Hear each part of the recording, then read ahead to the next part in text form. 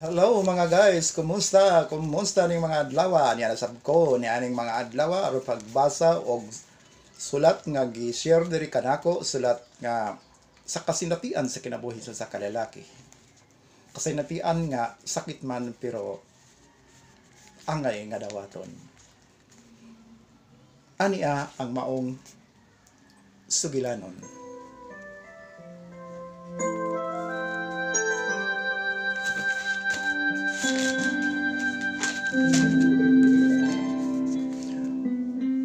Maayong adlaw kanimo Kuya Jay.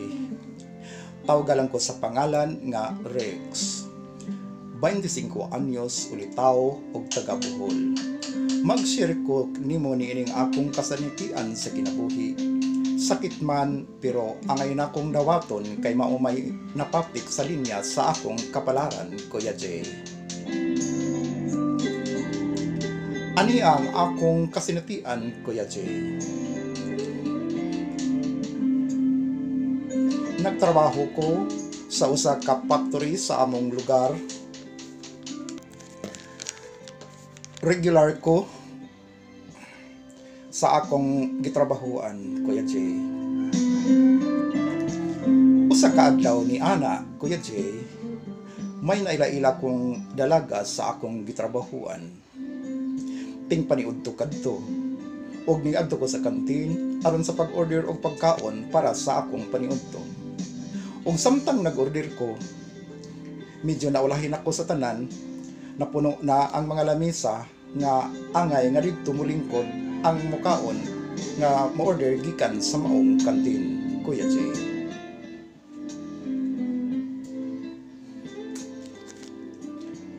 O wala nagiba kamting lamisa sa akong paglingi-lingi, Kuya Jay.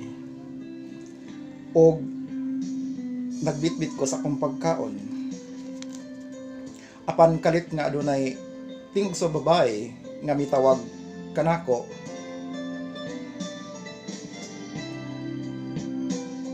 migo o nakalingi ko kuya Che ah y- yes ako ang imong gitawag miss.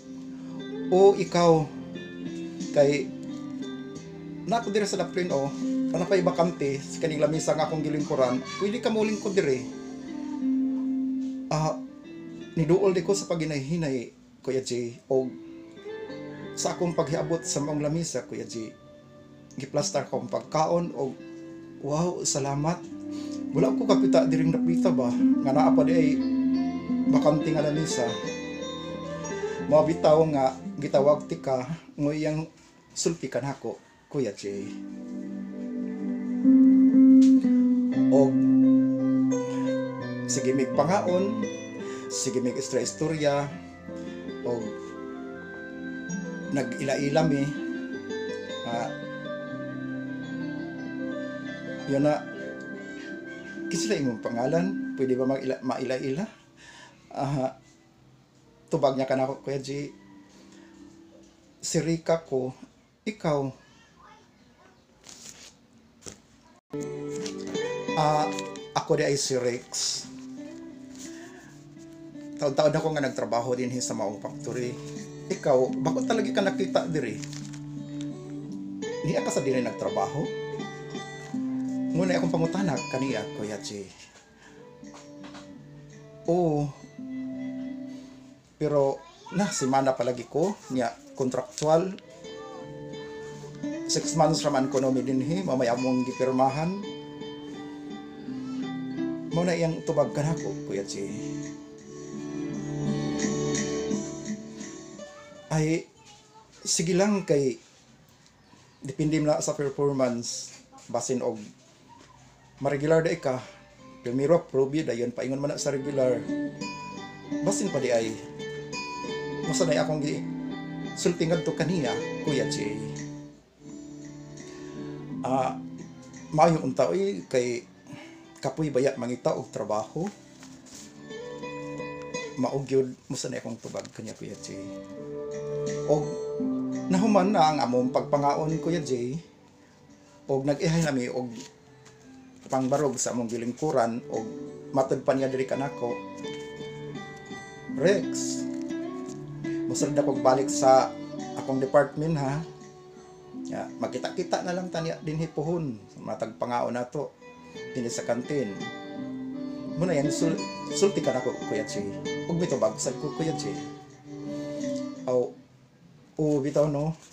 Ako sad, babalik na sad ko sa akong department. Kay, so ba, hapit man po dahil ang, pag, ang oras sa pagsulod na to. No, dali aragin sa oras ha. Mao bitaw. Mo na iyang tubag, Kuya Chi. Og nagkagrabe ang among panagsuod ni Rika, Kuya Kuya J. Kadaghan naming magkita-kita sa kantin, unya mag manuroy mi ug usa ka higayon ni ana Kuya J.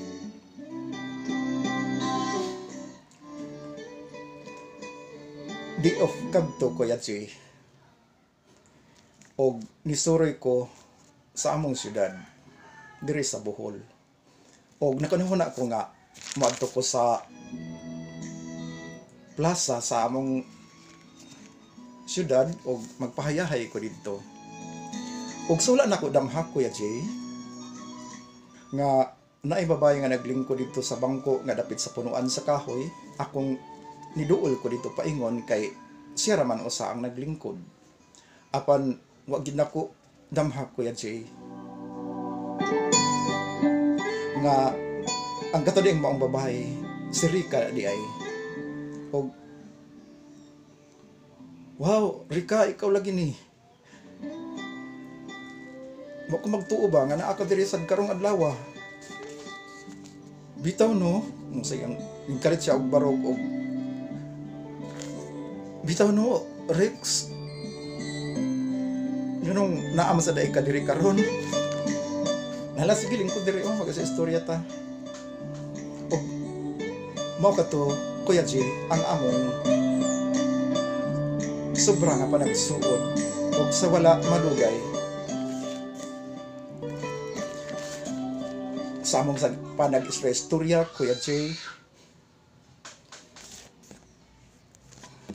gusto nako nga ipadayag ang akong gibati ngadto kaniya nga dugay ra na akong gitago kuya si bahalag ingnon kog usa ba ni? Sak tama ba ni akong gihimo? Nga ani ko mangulitaw aniya di niya ani plaza o di ko mabisita sa ilang bay pero basta kag gihimo na ko ang tanan. Og pila ka may istorya kuya si nagkauyab jud ni Rika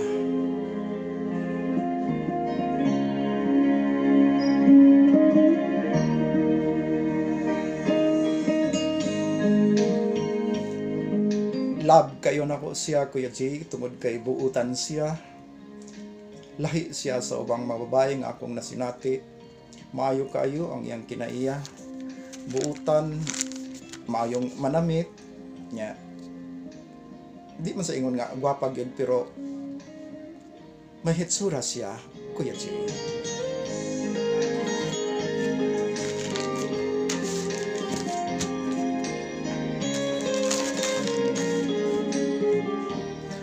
og pilaray istorya Kuya Jay. Ang among relasyon ning abot gyud og tuig kapin hapit mi magduha ka tuig Kuya Jay. Og siya mipauli sa ilahang Pinoy anan dito sa baryo nga sakop ni ining syudad sa Bohol ug ako nagpabilin sa akong trabaho kay regular man ko siya wala man siya ma-regular Ni pa uli siya sa ilag, Kuya Che. Og sige na kog adto sa ilaha, suodan ako ang mga gidikanan, ang mga igsuon, og usa ka higayon ni ana, Kuya Che.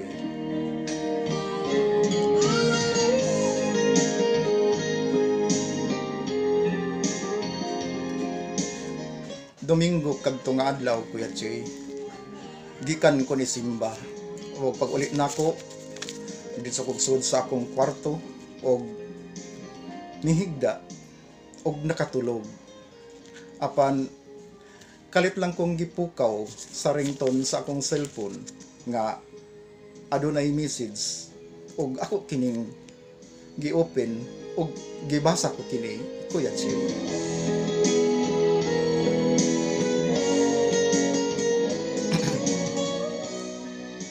Pagbasa nako Kuya Jay, text sa ihang igsuon sa iyang manghod ni Rika nga nagkanayon lang. Kuya, pwede mo ari ka karundayon sa amo ah.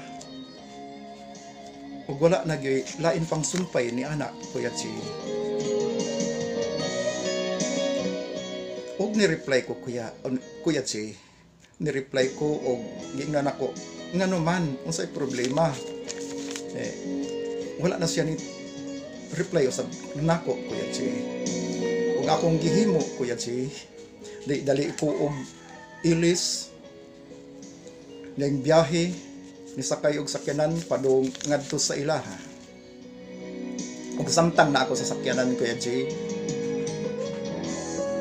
Kalit nga may nitawag og ang iya gihapong manghod Kuya Jay katong ni text nako niya ka- kaganina dito sa dito pa ko sa among balay. Og ang iyang tawag ningon siya Kuya, asa na ka karon? Dali diha. Si ate ba? Si ate, kulba, kulba na kayo ko nga naminaw sa iyang tawag nako Kuya G. Ano si ate, si ate. Ako siyang gitubag. Ngano man, ngano dahil si ate nimo. Basta kuya, dali lang gyud. Apas na lang niya namo diri sa hospital. Hospital si ate. Ha? Sige, sige, sige. Paingon na po diha. Nana ko sa sakyanan. Munay akong tubag. Kaniha, Kuya Jay. Ug samtang dito naabot na ko sa hospital, Kuya Jay. Naabtan ako nga si Rika gitabang sa mga doktor, Kuya Jay. Og kalit ni Dol kanako ang inahan ni Reka. Og ning hagaw-haw siya og ning agbay kanako og niingon dong Rex mayo kay ni akana mo na ang sulti kanako. Og nitubag ko kaniya Kuya J Puho ni ako kay gitawagan ko sa manghod ni sa manghod ni Rika ngano day na si Rika ma ngano din si Rika ate? Manang. Muna akong pangutana nga sa inahan ni Rika Kuya J o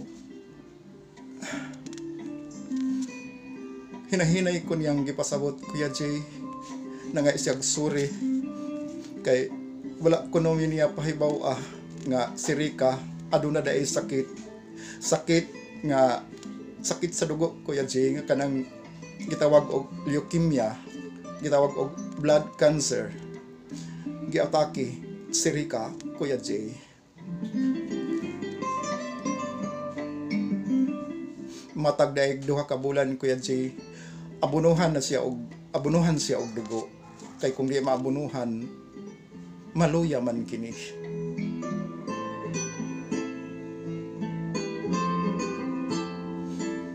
usa ka doktor nga nitabang kaniha Kuya J niingon nga kinahanglan og abono sa dugo karon dayon si Rika.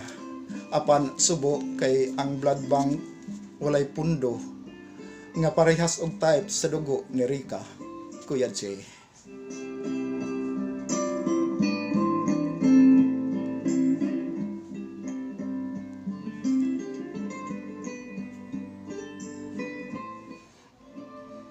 ug mao to nga nakanahon ako nga pariham day mig type sa dugo ni Rika. Ako ang niboluntaryo sa pagpakuha og dugo aron maabunuhan lang si Rika ug maluwas siya Kuya J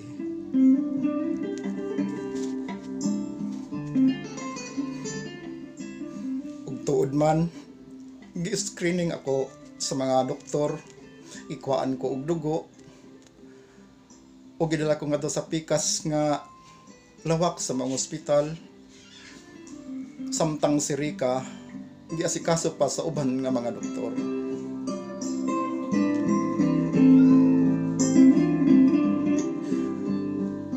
Samtang na ako sa pikas nga kwarto sa maong hospital, naghigda ko og ikuhaan ako og dugo.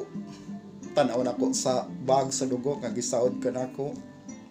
Wala pa gyud katungha ang dugo nga nahisud dito. Og kalit lang nga nakadungog ko og mga paghilak, siyagit, inahan og mga igsuon ni Rika.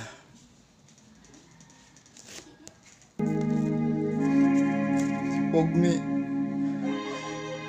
nahibulong ko. Gusto na ko mabangon mulamtaw sa maong lawak. Apan wa ko'y mahimo kay naghigda pa ko og napay dagom nga nagungot sa kong bukton para magsuyop sa dugo nga para maabuno kang Rika. Ug kalit nga ming abot ang amahan ni Rika ni Dool kan hako nga naghigda didto. Ug miingon siya, dong dong Rex, subo ang iyang panagway Kuya Jay. Mingon siya, dong Rex, dili na magamit ang dugo nga imong giabuno kang nga imong plano nga maiabuno kang Rika. Nga naman, manong tungod kay wala na si Rika Rex. Namatay siya. Ha? Wala na si Rika.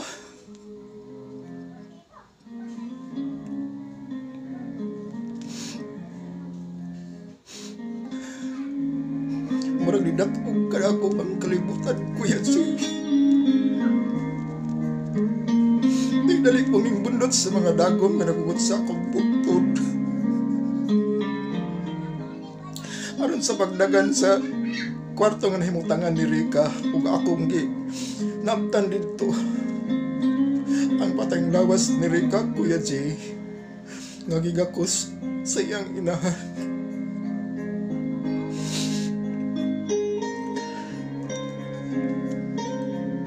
Misyagit ko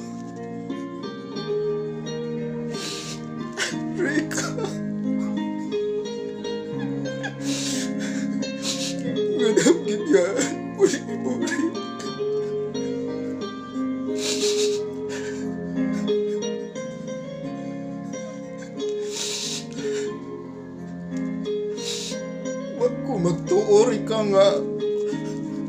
Dining mamatak na ah. Mawala ka.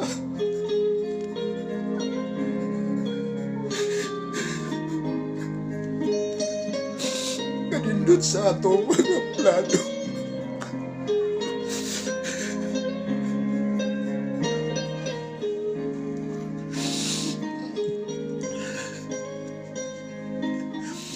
Ug si kaso ang patayng lawas ni Rika sa mga doktor gibalhin sa morgue. Kuya Jay.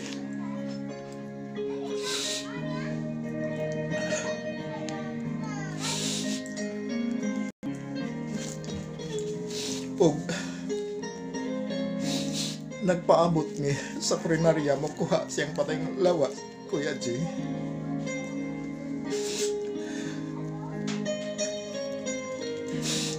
Sakit kayo. Love kayo na ko si Rika.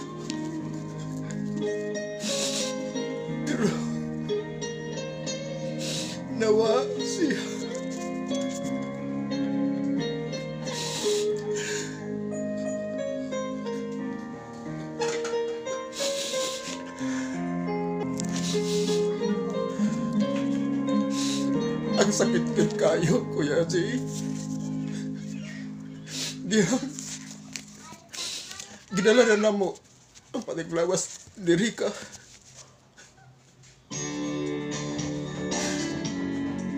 Sa sementeryo, Kuya J. Kay totally, dili na gyud na mo siya makita.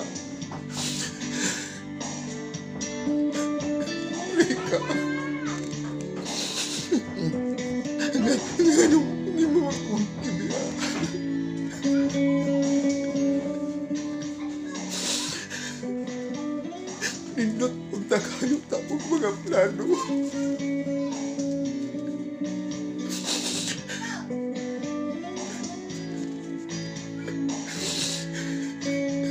Lang kayo ika-ika. Kung asa ka man karon gibutan sa ginuuri ka. Inaot nga malipayon ka.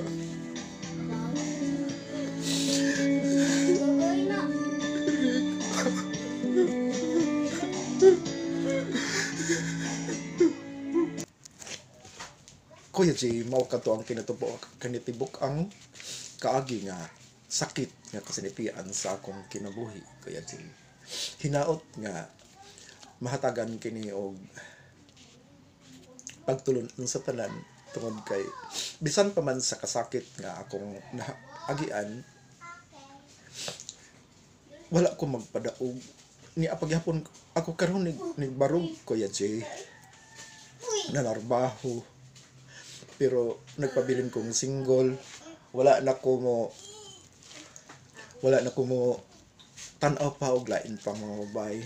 Duha na katuig kapin gikan sa pagkawala ni Rika. Kanako Kuya Jay. Ug naamay giingon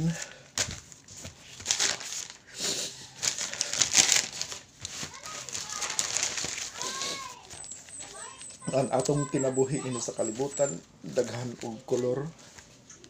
Usahay mo mo patak ang kolor nga malipayon madasigon malaumon mahigugmaon og usahay kolor nga ma magulanon dili man kalikayan nga mo spread sa atong kinabuhi kining mga kolor nga ngilad tan-awon ang importante nga atong dawaton atong ug atong tan-ahon nga kita magmalig-on nga ang kolor nga ani aka nato karon ka. nakapaguol nakapasubo sa atong kaugalingon ato lang kining paphaon pinagi sa atong paglig-on nga mailisan ong ug kolor sa paglaom ug madasigon aron kita magma magma malipayon pinagi sa pagtawag sa Ginoo kay siya man ang tinuod nga paglaom Marakad to, Kuya Chi. Salamat. Okay, mga higala, mao kadto ang sulat tampo. Sulat share sa kasinatian sa usa ka ulitaw nga gingalan og Rex. Salamat sa inyong pagpamati, pagtan-aw ni ining sugilanon sa kinabuhi ni Jay nga akong gibasa karon. Og ako sa dili pa mahuman magbilin ko og usa ka panaltihon. Sa Tagalog pa, may isang kasabihan. Kung may problema, huwag kang mag-alala. I-YouTube mo na. Bye-bye. God bless you all.